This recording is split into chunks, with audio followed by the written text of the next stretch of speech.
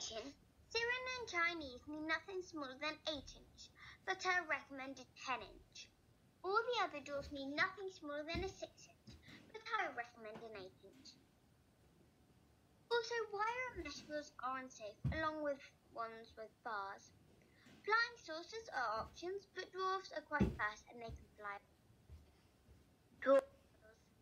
The wooden wheel. The natural wheel. The comfort wheel large, 8.5 The rodent wheel.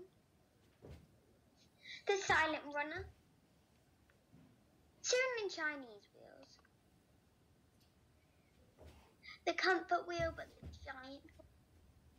The wooden, wooden 12 inch wheel. Plastic exercise wheel, 33 centimeters. Wooden wheel, 11 inch. Thank you. So I hope you guys enjoyed this video. If you do, please smash a huge thumbs up, subscribe down below, and click that notification bell so you do not miss any of my videos, just like this one. So thank you so much for watching. Bye!